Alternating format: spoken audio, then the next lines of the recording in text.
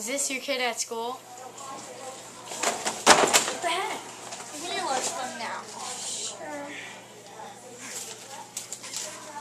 Good. Kid ran home to tell his parents. So how was your day? I got pushed against the wall by a bully. By who? I can't tell you. Tell me now. His name was Bernard. I'm calling the principal. If this is your kid at school, or if this is you, tell your parents, tell someone. You don't want to get bullied.